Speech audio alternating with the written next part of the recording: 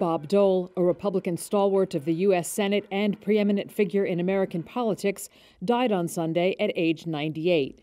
He lived a cinematic American story, rising from Depression era Dust Bowl, Kansas, to the battlefields of World War II, where he suffered devastating injuries, including the loss of use of his right arm, and rose to a commanding place in Washington's halls of power.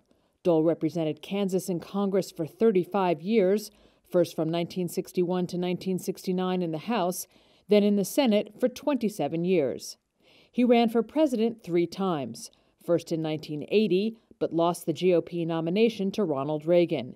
He fell short again in 88, this time to then Vice President George H.W. Bush, but not before a debate where Dole famously snapped at Bush to, quote, stop lying about my record.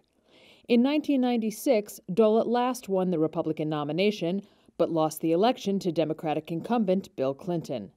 The following year, Clinton awarded Dole the Presidential Medal of Freedom, the nation's highest civilian honor. Dole was also known for being a pragmatic conservative liked by both parties for his ability to work across the aisle. Accepting his party's nomination in 96, Dole said, quote, I say that in politics, honorable compromise is no sin. It is what protects us from absolutism and intolerance.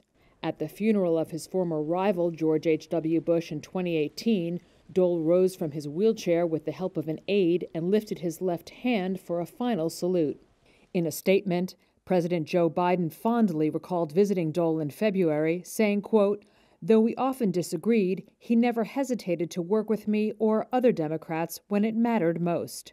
Dole announced earlier this year that he had been diagnosed with advanced lung cancer and was seeking treatment. In a statement, the Elizabeth Dole Foundation, established by his wife, also a former senator, said that Dole died in his sleep, adding, quote, Bob Dole was never only ours we shared him with Americans from every walk of life and political persuasion.